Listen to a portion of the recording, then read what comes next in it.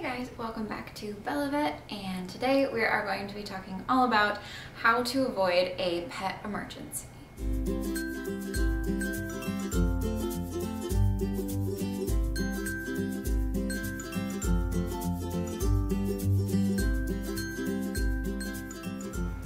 Guys, welcome back to BellaVet. Uh, for those of you who don't know, I am a newly graduated um, emergency veterinarian living in Chicago.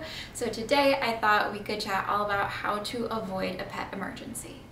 And first things first, I kind of want to just give you a little PSA from all veterinarians that you know, at the end of the day, we want to see our pets healthy and happy and, you know, living their lives. And, uh, and that's a big reason why I'm making this video because there are some things that you can do uh, to help make your home safer and things like that so that you avoid a pet emergency. And um, yeah, and I think unfortunately sometimes there can be this, this stigma that, oh, vets are in it for the money or something like that. And I like to think that maybe this is just a little bit of evidence to the contrary um, because throughout this whole video, I'm essentially telling you how to avoid my place of work, how to save uh, your pet's life, how to save you heartbreak, and how to save you money because the emergency room can be pretty expensive sometimes. And just a couple things to keep in mind in case you ever do have to visit the pet ER. Um, first things first, no one wants to go to the pet emergency room, um, and that's part of my job. No one ever wants to, you know, be a client of mine, understandably so. No one ever wants to have a pet emergency um, or spend their Friday night in the emergency room.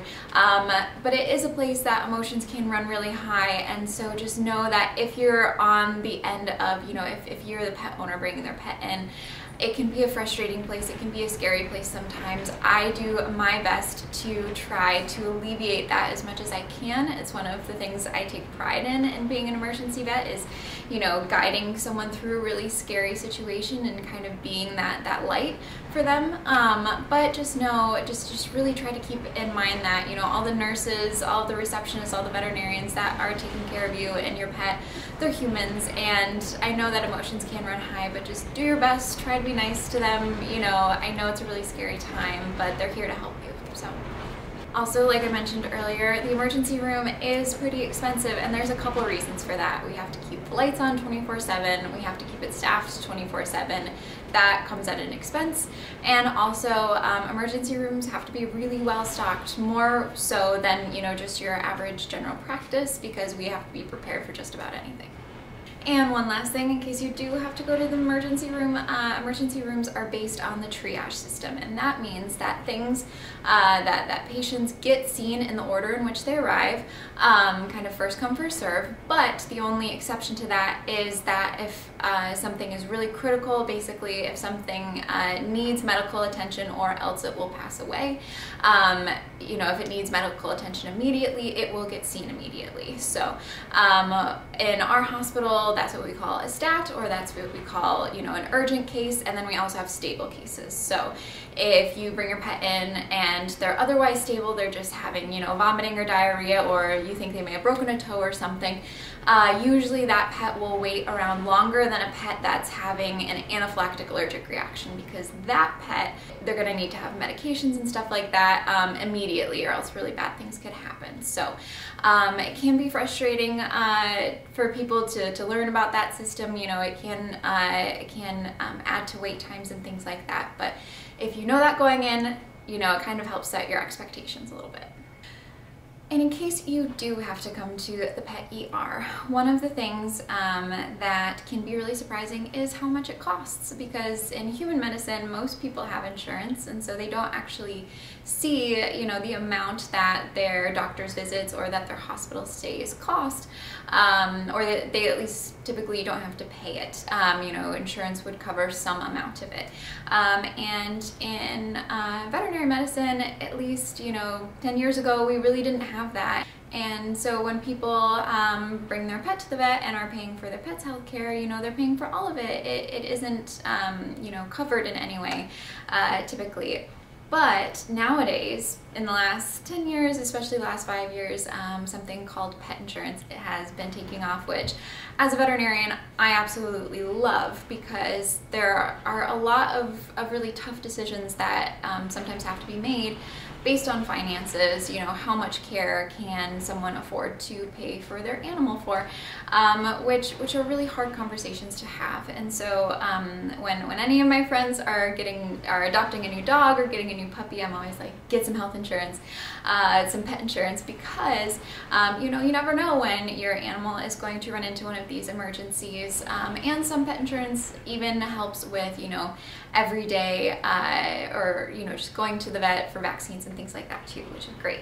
Um, so it's also helpful to have a savings account because um, some of these, uh, you know, a lot of pet insurance, it they, they reimburse you, um, but just to cover, you know, that initial bill before you're reimbursed, it's always really great to have an emergency savings account. And without further ado, here are my tips to help save your pet's life, how to help save you heartbreak, and also save you money.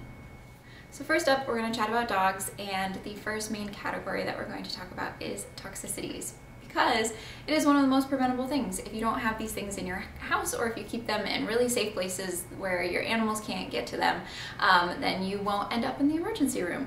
Um, and the first big one is chocolate. And chocolate, uh, basically the active ingredient that is toxic to dogs is actually pretty similar to caffeine. Um, and it's kind of like a cousin of caffeine, if you will. And um, it can cause basically for them to be hyperactive, hyperexcitable. It can cause them to have a really fast heart rate. Um, and if it gets really bad, um, it can cause them to have heart arrhythmias. Basically, their heart start stops beating at the right rhythm and starts beating at a scary rhythm. Um, and some of those can even be life-threatening. So um, how chocolate works is basically the more concentrated it is, the worse it is, and the smaller amount it takes to make your pet sick. So something like white chocolate is safer um, than something like milk chocolate, which is more toxic, and dark chocolate is more toxic than milk chocolate, and then something like baking chocolate is, is, the, is the worst, and it'll take um, the, the smallest amount to make your pet sick. Next up is grapes. And this is one that, you know, I had always heard, oh yeah, chocolate, you can't give it to dogs, yep, yep, yep. But grapes was something that, um, even as an animal lover and as a future veterinarian, you know, when I was younger, um, it took it took me a long time to learn about that grapes were toxic to dogs.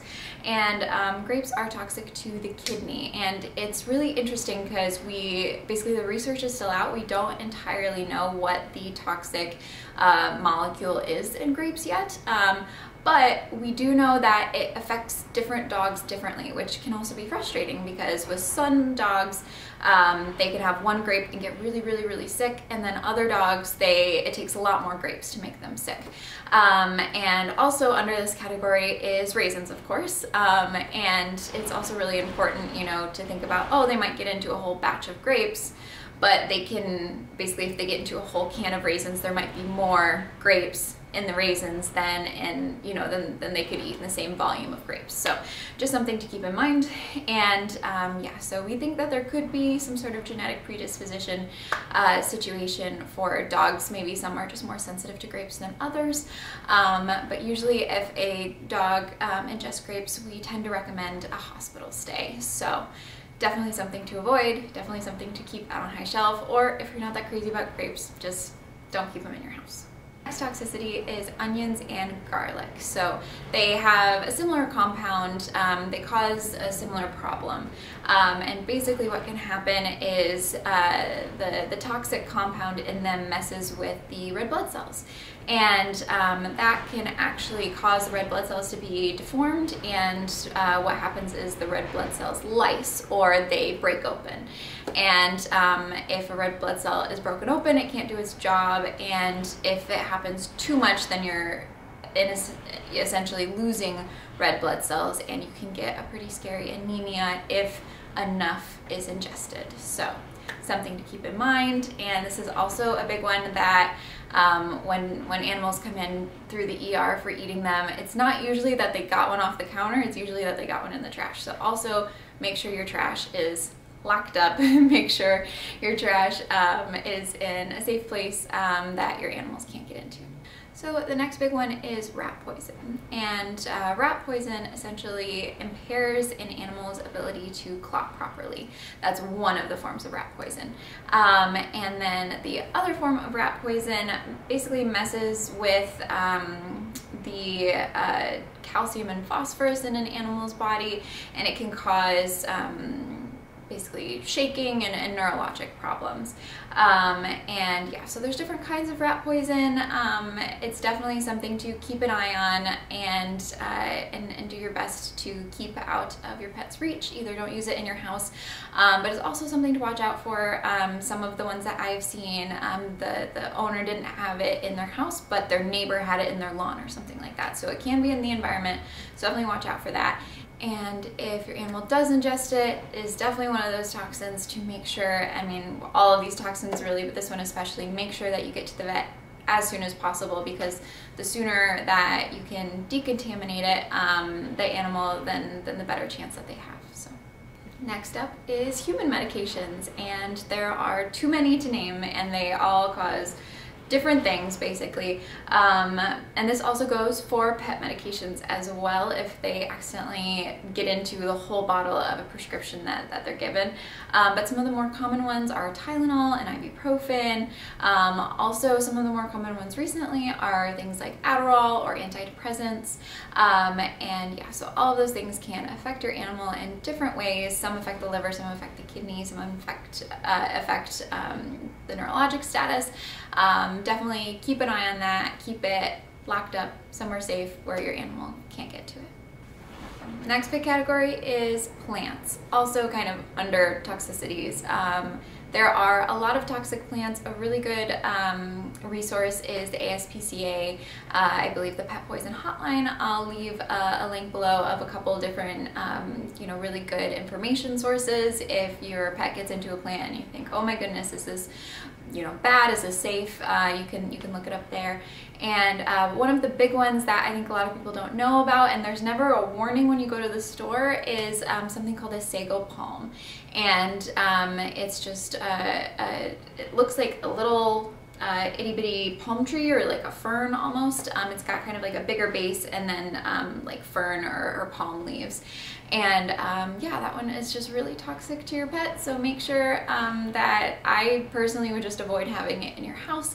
Um, but this is also a good reminder to look up what species of plants you have as house plants and, you know, look them up on the pet poison hotline and uh, see how toxic they are to uh, your animal if they're toxic and um, if so, if you should keep them in your house, if you should get rid of it or just keep it in a really high place where your animal can't get to it. The next one is uh, THC, also known as marijuana or weed. And uh, yeah, especially at least um, in my state, it's legal, so we're seeing a lot more of these uh, recently. Um, and even if someone just doesn't have it in their household, it can also be in the environment and an animal picks up a little piece of something when they go for a walk. And uh, yeah, it's becoming a lot more common and basically it causes an animal to do several things. Um, one of which they dribble urine um, and they also have ataxia, which is just a fancy doctor word for uh, they have like a very wobbly kind of spazzy gait. And, um, and the, the third thing that happens is an animal becomes something called hyperesthetic, which is just another fancy doctor term that means they overreact to movement and light and sound. So one of the ways that we test this in the clinic is um, we do something called the Menace response, which is uh, essentially we take our hand, and this is just a neurologic test for, for any animal. Um, it's basically one way to test vision in a, in a way. Um, and we, we take our hand and we just put it far enough away from their face and uh, like maybe 6 to 12 inches and we just flick our hand and they usually are supposed to blink. Well, a dog that has ingested uh, THC, uh, when we do this, they way overreact to it. And so when we flick our hand, they're like, whoa, whoa, and they blink really, or, or if we flick our hand from really far away, then, then they have the, the response that we'd normally expect from, you know, a hand flick like right here. And um, so it's, uh, luckily this is one of the um, toxins where typically it's it's not too bad. Um, if they ingest enough of it, uh, then they can, you know, their heart can slow and they can even go into a comatose-like state, um, and it can cause, you know, them they'll need to be hospitalized and things like that. But most of the time when I see these, these animals just need a little bit of anti-nausea medication. We typically run a little bit of blood work and um, give them some fluids monitor them for a couple hours and if they're improving then we offer to send them home. So um, luckily this one uh, on average is, is, a, is a pretty benign one. Um, it can be serious um, so just in case again let's avoid the ER let's make sure that our animals don't get into this both wherever you keep it and also in the trash. Make sure that you keep your trash locked up. and last toxicity that we're going to talk about is something called xylitol, which is an artificial sweetener. Um, and uh, it's used in like sugar-free gum and things like that. But one of the places that you have to keep an eye out for it um, is in peanut butter because a lot of people uh, have peanut butter. It's one of those things that they'll give to their dogs to make them, you know, go like that and um, or if they're giving them a pill they'll give it with their pills um, and it's one of those things just make sure you get like all natural peanut butter. Um, I tend to like the Smucker's kind that you have to stir up because I think the ingredients are literally like peanuts and oil and that's it. Um, and so basically the fewer ingredients for peanut butter for me, the better. Um, and uh, yeah, but sometimes if uh, a peanut butter is artificially sweetened with xylitol, um, that can be toxic to dogs. And basically what happens is it messes with their liver. What it can cause in dogs is it can cause them to have low blood sugar. Um, and you can think of this as, you know, if it's given to a dog, it's essentially giving them fake sugar. So their body sees it and says, oh, I think that's sugar. I'm gonna release insulin, which brings our, you know, which, which preps our body for, for an influx of sugar. It helps, you know, combat it. Um, but then their body can't use it the same way it uses sugar. So it tricked their body into releasing insulin without actually giving it an energy source to combat that insulin release. So what happens is the insulin works and it makes their blood sugar really low, which um, can cause a bunch of problems. And uh, yeah so just make sure that anything you give your animals if it's people food um, or if especially if it's peanut butter make sure it does not have an artificial sweetener like xylitol in it. Okay. We're past toxicities and the next big category is something that is near and dear to my heart as someone who has a dog that um, doesn't always do well with other dogs. Um, sometimes she does and sometimes she doesn't. Um, and basically it's dog fights or hit by cars or, or basically um, traumatic injuries that can happen to dogs um, that are preventable. So uh, one of the biggest ways that you can prevent uh, a dog fight or a dog attack or you know um, getting loose and getting hit by a car is to keep your pet on a leash. Um, I am such a huge proponent of this because I think one of the things that people sometimes understandably don't realize is that just because their animal is super nice and loves other dogs doesn't mean that the dog that they are running up to likes other dogs. So if I'm at the park and uh, I know that the, the park has a leash law and I've got my dog on a leash and somebody else has their dog running off leash and they run up to mine and they don't have control over, you know, asking their dog to come back to them. Um, my dog, she's half blind and she gets spooked when dogs come up on our blind side, understandably, and um, and you know, a, a fight can break out. I've had some some really scary close calls and so it's one of those things that please, please, please, if you're going to a park or anything like that where there is a leash law, please just obey it because it is the only thing that's keeping pets like mine safe uh, and, you know, able to live their lives. And they love going for walks. They love, you know, my dog loves people. My dog loves other dogs that are on leash that she can, you know, meet very slowly and in a controlled way. Um, and yeah, so one of the best ways to prevent dog bites, dog fights, hit by cars um, is to keep your dog on a leash and please please please do it. And if you need to have your dog run off leash you know there are dog parks there are places for that. Um, but just just please uh, don't break the law just because you know it's it's inconvenient for you um, and you want to let your dog run off leash. Think about the safety of others and of your own pet is so so so important The next uh, preventable emergency is a foreign body, um, and that means uh, when your dog comes in, usually um, they're they're feeling sick, they may be vomiting a lot or something like that. They might not be able to keep food down, and it might be because they ate a rock or a sock or a stick, or there have been so many foreign bodies that I have seen. Um, one of them was really scary. It uh, was a little light up, light up children's ring toy that uh, we that an animal ate, and it was really scary because that had a battery in it, and we can't just make a dog vomit up a battery because it can be corrosive and scary and so we actually had to go in with um, an, uh, an, endoscope, a little tube with a camera on it and pull it out of the stomach. Um, so fascinating case, but not something I would ever wish on anyone's pet. So um, again, if your pet is known to be naughty, known to get into things, just make sure you keep your, your place really clean um, and, and do your best to um, make sure that your pet uh, doesn't have anything to get into. Also, there are some things, if they like to like chew on like leg furniture legs and things like that, there are like bitter sprays you can use um, and stuff like that. So just be mindful and um, make sure your pet doesn't get into any of those things, um, especially things like metals or batteries. Um, those things can, can be really scary. So just be careful. Next one is um, something called a gastric dilation and volvulus, also known uh, more commonly as bloat. Um, Doctors tend to refer to it as a GDV because we don't want to say the whole name every time, um, but yeah, so it's typically known as bloat, also known as a stomach flip. So it's something that um, is more common in large breed dogs like Great Danes, St. Bernards, Weimaraners, uh, English or Irish setters, Gordon setters, there's a whole list. Um, basically deep-chested dogs um, or large breed dogs in general it's more common in.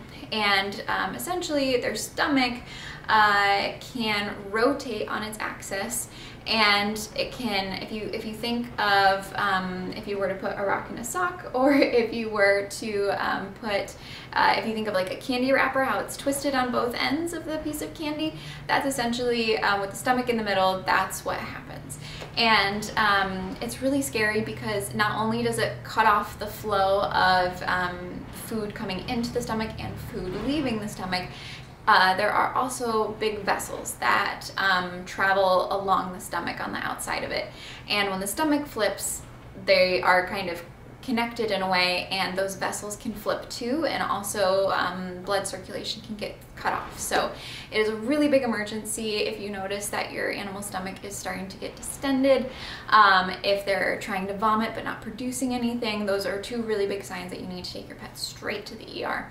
Um, and uh, but it is preventable so if you have like a Great Dane you say hey I know that this can happen to Great Danes. Uh, let's say uh, they're going in for their neuter uh, or their spay, and um, while they're under this anesthetic procedure, you might as well, you know, uh, get the bang for your buck. You might as well do everything under one anesthetic procedure that you can. And one of those things that um, I usually have people at least consider with their veterinarians is something called a gastropexy.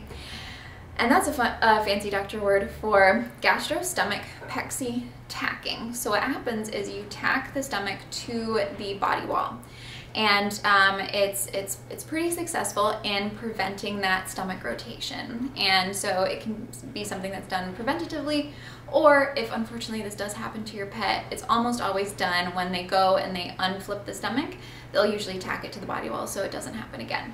Um, so that's one of those things um, that can be preventable and when people are considering hey should I have this procedure done uh, you know on their large breed deep chested dog you know it's something that I always say hey consult with your veterinarian ask them you know if this is right for your individual animal. But the way that I think of it is you know it's investing in your pet's health. And um, you know this is something that would cost a couple hundred extra hundred dollars um, to add to a routine procedure, routine surgery um, that could help prevent an emergency surgery down the line that could cost thousands of dollars where your pet is in a critical condition and surgery is therefore more risky.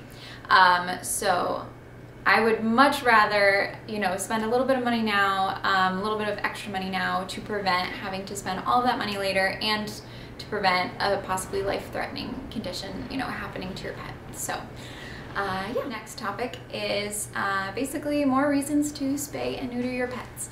Um, because spaying and neutering your animals can prevent um, a lot of bad stuff. It can prevent what we all think of, which is, you know, um, unintended uh, pregnancies, unintended puppies, um, and it can also prevent things like um, a pyometra, which is essentially when um, a female's uh, uterus gets infected and fills with infected fluid or pus, and um, that pus can, um, if, if there's a, a, hole in the uterus and it goes into the abdomen, it can cause sepsis or a body-wide bacterial infection that can be life-threatening. Um, and yeah, it can cause, um, it can just be really scary and um, be the cause for an emergency surgery. Spaying your pet can also decrease the risk of mammary cancer, which is really great. I even looked up a little um, statistic for you guys. Um, so basically the risk of a dog developing mammary, a mammary tumor is 0.5% if spayed before their first heat cycle at around six months of age. It's 8% after their first heat cycle and 26% after their second heat cycle.